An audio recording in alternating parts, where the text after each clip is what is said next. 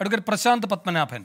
പ്രധാനമന്ത്രി പറഞ്ഞ വാചകങ്ങൾ എല്ലാവർക്കും ഇപ്പോൾ അറിയുന്നതാണ്. The ഷഹബാസ should declare during these polls how much have they taken from Ambani Adani how many sacks of black money have been taken have tempos full of notes reach to the Congress what is the deal that has been struck ഇത്രയും വെച്ചുകൊണ്ട് ക്ഷമ പറയുന്നത് പോലെ supreme കോടതി ഒരു സ്വമേധയാ case എടുക്കേണ്ടതാണോ ഇത്?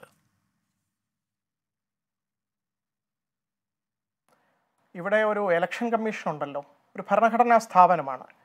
Election തുടങ്ങിക്കഴിഞ്ഞ് കഴിഞ്ഞാൽ എലക്ഷന്റെ മേൽനോട്ട ചുമതലയും എല്ലാം ആദ്യം മുതൽ അവസാനം വരെ അതിന്റെ മേൽനോട്ടവും നടത്തിപ്പും എല്ലാം നടത്തേണ്ടത് ഇലക്ഷൻ കമ്മീഷനാണ് ലോകത്തെ ഏറ്റവും വലിയ തെരഞ്ഞെടുപ്പാണ്.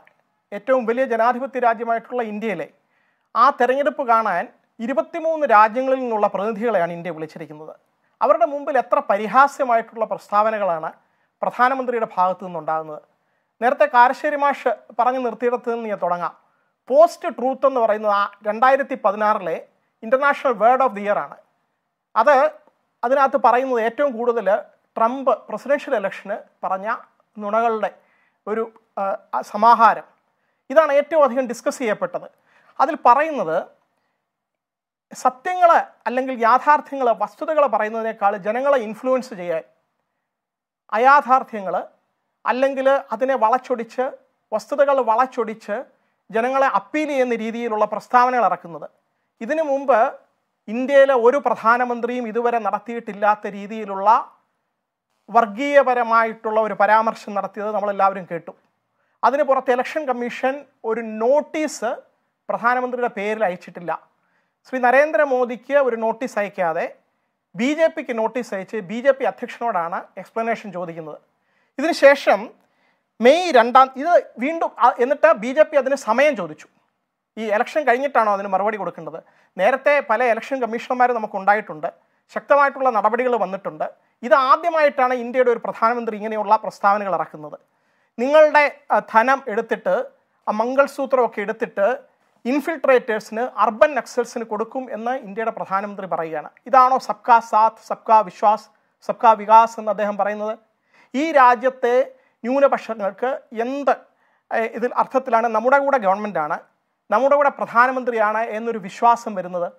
റെപ്രസെന്റേഷൻ ഓഫ് പീപ്പിൾ ജനപ്രാതിനിധ്യ നിയമത്തിലും ഭരണഘടനയിൽ പറഞ്ഞിരിക്കുന്ന പ്രധാനപ്പെട്ട ഇത് സുപ്രീം കോടതിയുടെ ഹെയ്റ്റ് സ്പീച്ച് പുറത്തുള്ള judgment model code of conduct violate violate ചെയ്യപ്പെട്ടു. എന്നിട്ട് ഇലക്ഷൻ കമ്മീഷൻ എന്തെങ്കിലും നടപടി ഇതുവരെ എടുത്തതായിട്ട് കണ്ടോ? അതിനുശേഷം വീണ്ടും ഈ പ്രസ്ഥാനം തുടർന്നുകൊണ്ടിരിക്കുകയാണ്. വയറൊരു ആർട്ടിക്കിൾ വന്നിരുന്നു. മെയ് രണ്ടാം തീയതി പ്രധാനമന്ത്രി പറഞ്ഞത് അതിന്റെ ഇംഗ്ലീഷ് ട്രാൻസ്ലേഷൻ സിദ്ധാർത്ഥ വരദരാജനാണ് എഴുതിയത്. Modi പ്രസംഗിച്ചതാണ് they have put it in writing my journalist friends will also be shock to hear this they have said it in writing now that for government tenders there will be a quota fix for minorities for Muslims so from now on, will government contracts be awarded on the basis of religion and reservation introduced for that? പ്രധാനമന്ത്രി Narendra Modi May രണ്ടാം തീയതി പ്രസ്താവിച്ചതാണ്. ഇതിനെപ്പറ്റി Congress മാനിഫെസ്റ്റോയിൽ page six para എയ്റ്റിൽ പറയുന്നത് scope of public procurement policy will be expand to award more public works contract to contractors belonging to scheduled caste and scheduled tribe communities എന്നാണ് പറയുന്നത്. മൈനോറിറ്റിയുടെ കാര്യം പറയുന്നില്ല. വീണ്ടും പേജ് എട്ട് പാര ആറിൽ പറയുന്നത് we will ensure that the minorities receive their fair share of opportunities in education, healthcare, public employment, public works contract, skill development, sports and cultural activities without discrimination. ഒരു വിവേചനമില്ലാതെ എല്ലാവർക്കും ഇവിടെ തുല്യ അവകാശം ഉണ്ടായിരിക്കും പബ്ലിക് വെൽത്ത് എല്ലാവർക്കും തുല്യമായിട്ട് അവകാശം ഉണ്ടെന്ന് കോൺഗ്രസ് മാനിഫെസ്റ്റോയിൽ പറഞ്ഞത് എങ്ങനെയാണ് മജോറിറ്റിയുടെ കയ്യിൽ നിന്ന് സ്വത്തെടുത്ത് മൈനോറിറ്റിക്ക് അവാർഡ് ചെയ്യുന്നതാകുന്നേ അംബാനിയും അദാനിയും കോൺട്രാക്റ്റ് ഗവൺമെന്റിന്റെ ഒരു കോൺട്രാക്റ്റ് ജയിച്ച് ഒരു കാര്യം ഒരു സ്റ്റേറ്റിൽ നടപ്പാക്കാൻ വരുന്നതിനെ പറ്റിയാണോ രാഹുൽ ഗാന്ധി പ്രസംഗിച്ചത്? അത് ആ ഇൻവെസ്റ്റ്മെന്റ് നടത്തുന്നത് അത് ഏതെങ്കിലും ഒരു ലീഗൽ പ്രൊഹിബിഷൻ ഉണ്ടോ? അതിനെപ്പറ്റിയാണോ അദ്ദേഹം പ്രസംഗിച്ചത്? ഇവിടെ ക്രോണിക് ക്യാപിറ്റലിസം നടക്കുന്നുണ്ട്. ചില ബിസിനസ് ഗ്രൂപ്പുകളെ മാത്രമായിട്ട് ഫേവറിറ്റിസം കാണിച്ച് ഗവൺമെന്റ് പ്രൊമോട്ട് ചെയ്യുന്നുണ്ടെന്ന് പറഞ്ഞ ഒരു ആരോപണം. ആ ആരോപണത്തിന് പ്രധാനമന്ത്രി പറയുന്നത് ഇപ്പോൾ ഷെഹസാദ് എന്നുള്ള വാക്ക് തന്നെ ഒരു അൺപാർലമെന്ററി ആയിട്ടുള്ള വാക്കാണ്. അത് പ്രതിപക്ഷ ബഹുമാനം ഇല്ലാതെ അദ്ദേഹം നേരത്തെ അദ്ദേഹം പറയുമായിരുന്നു രണ്ടായിരത്തി പതിനാലിൽ ഇലക്ഷനും പത്തൊമ്പത് ഇലക്ഷനും ഒക്കെ ഇങ്ങനെയുള്ള വാക്കുകൾ ഉപയോഗിച്ചിട്ടുണ്ട്. അപ്പോൾ ഈ വാക്ക് ഉപയോഗിച്ചിട്ട് പറയുന്നത് രാഹുൽ ഗാന്ധി ഇങ്ങനെ പറഞ്ഞത് കേട്ടോ. രാഹുൽ ഗാന്ധി വീണ്ടും ഒരു വീഡിയോ ഇറക്കിയിട്ടുണ്ട്. ഞാൻ പ്രധാനമന്ത്രിയെ വെല്ലുവിളിക്കുകയാണ്. സി ബി ഐയെയും ഇ ഡിയെ ഉപയോഗിച്ച് കണ്ടെത്താൻ പറഞ്ഞു.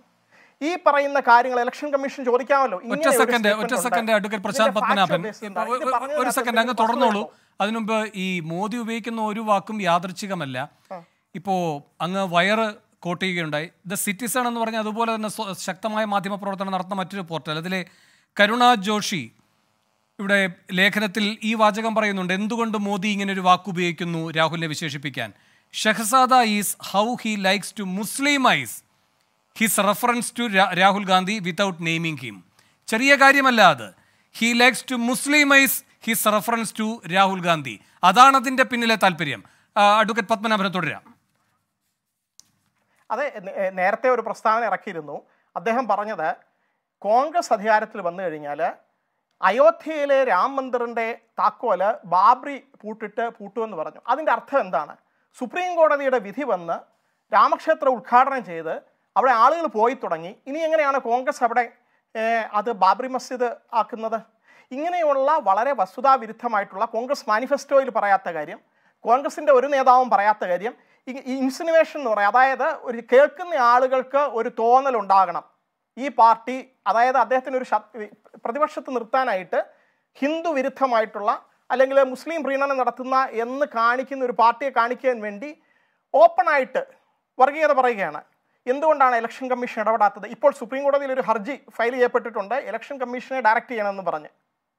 അതിന് എന്ത് വിധി വരുമെന്ന് അറിയത്തില്ല. മിക്കവാറും ഇലക്ഷൻ കമ്മീഷൻ തീരുമാനം എടുക്കാൻ പറയാനാണ് സാധ്യത. കാരണം ഇതുവരെയുള്ള കോടതി വിധികളെല്ലാം ഇലക്ഷൻ നടന്നു കഴിഞ്ഞാൽ അതിന്റെ പരിപൂർണ ചുമതല നിർവഹിക്കാനുള്ള ഉത്തരവാദിത്വം എല്ലാം ഇലക്ഷൻ കമ്മീഷനാണെന്നാണ് രാജ് നമ്മുടെ രാജ്യത്തിന്റെ അഭിമാനകരമായിട്ട് ഇത്രയും നാൾ നടന്നുകൊണ്ടിരുന്ന ലോകത്തെ ഏറ്റവും വലിയ ജനാധിപത്യമെന്ന് അഭിമാനിച്ചിരുന്ന ഇന്ത്യയിൽ ഇപ്പോൾ നമ്മൾ നാണം കെടുത്തുന്ന ചില കാര്യങ്ങളാണ് നടന്നുകൊണ്ടിരിക്കുന്നത്. ഇലക്ഷൻ വരികയും പോവുകയും ചെയ്യും. പക്ഷേ ഒരു രാജ്യത്തിന്റെ ആത്മാവ് ഇതിന്റെ മതേതരത്വം ഈ ഭരണഘടനയുടെ ബേസിക് ആയിട്ടുള്ള ഒരു അതിന്റെ മൂല്യങ്ങൾ അത് കാറ്റിൽ പറത്തിക്കൊണ്ട് രാജ്യം ഭരിക്കുന്നവർ തന്നെ ഇങ്ങനെ ഇടപെടുമ്പോൾ നമ്മൾ ഇൻസ്റ്റിറ്റ്യൂഷൻസ് നോക്കുകുത്തുകളായിട്ട് നിൽക്കുന്നത് അല്ലെങ്കിൽ ജനങ്ങൾക്ക് അതിനെ പ്രതികരിക്കാൻ കഴിയാതിരിക്കുന്നതൊക്കെ വളരെ അപകടമാണ്. ഇതിന് ഒരു ശക്തമായ തിരിച്ചടി ഉണ്ടാകും. കാരണം ഈ മഹാരാജ്യത്ത് ഇതുവരെ ഒരു ഒരു ജനാധിപത്യം നിലനിന്നിരുന്നത് ഇവിടുത്തെ ആളുകൾ ചിന്തിക്കാൻ പ്രാപ്തരായിട്ടുള്ള ആളുകളുണ്ട്.